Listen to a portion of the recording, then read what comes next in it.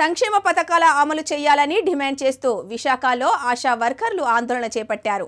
తాము అధికారంలోకి వస్తే కనీస వేతనాలు అమలు చేస్తామని చెప్పిన వైసీపీ ప్రభుత్వం తమకు పదివేల గౌరవ వేతనం ఇస్తూ సంక్షేమ పథకాలను దూరం పెట్టడం సమంజసం కాదని ఆవేదన వ్యక్తం చేశారు.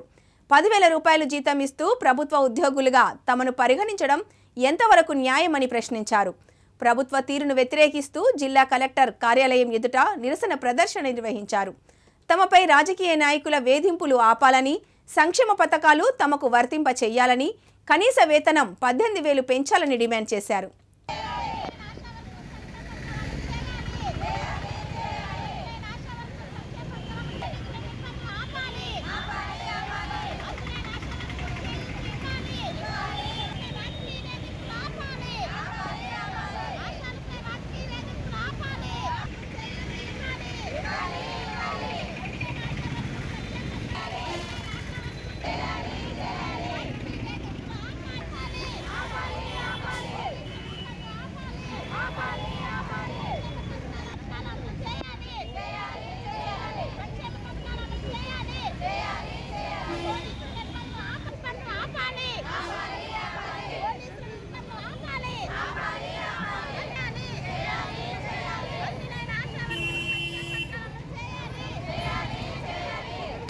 నా పేరు ఎస్ పద్మ.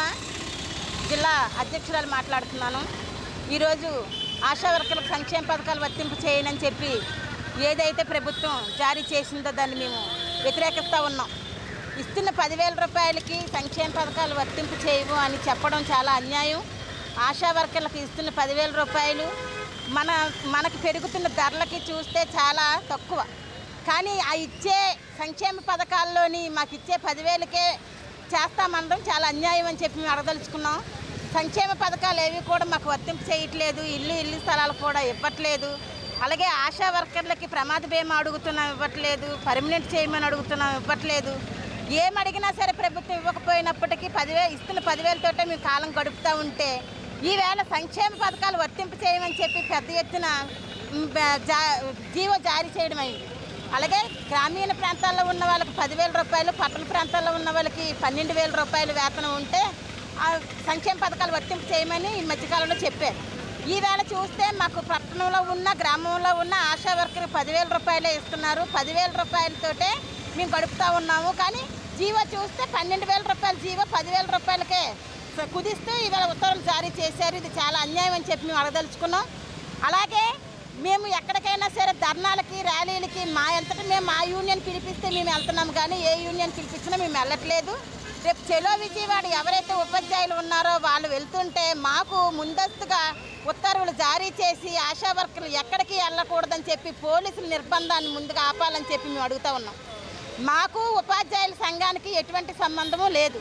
కానీ మమ్మల్ని ముందస్తుగానే మాకు నోటీసులు ఇచ్చి నోటీస్ ఇచ్చిన తర్వాత మీరు ఎక్కడికి వెళ్ళకూడదు అన్యాయం అని చెప్పి మేము అడుగుతున్నాం. మొన్న సీఎం గారు ఊర్లోకి వస్తే నన్ను అధ్యక్షురాలుగా ఉన్న నన్ను నిర్బంధం చేశారు. పోలీసులు ఇంటికి వచ్చి నిర్బంధం చేసి మీరు ఎక్కడికి వెళ్ళడానికి వీల్లేదని చెప్పడం చాలా అన్యాయం అండి. సీఎం గారు ఊర్లోకి వస్తే మేము ఎక్కడ తిరగకూడదా? మీరు ఆశా వర్కర్లుగా మా పని మేము చేసుకోకూడదని కూడా మేము అడుగుతా ఉన్నాం. అలాగే సంక్షేమ పథకాలన్నీ కూడా అమలు చేయాలని చెప్పి అడుగుతా ఉన్నాం. బీచ్ ప్రోగ్రాం పెట్టారండి నిన్నగా మొన్న. బీచ్ ప్రోగ్రానికి సచివాలయం ఉద్యోగస్తులందరికీ కూడా టీఏడిఏలు ఇస్తారు భోజనాలు పెడతారు వాళ్ళ దగ్గర నుండి తీసుకెళ్ళి తీసుకొస్తున్నారు if you like this video please like it share it and for more videos please subscribe to our channel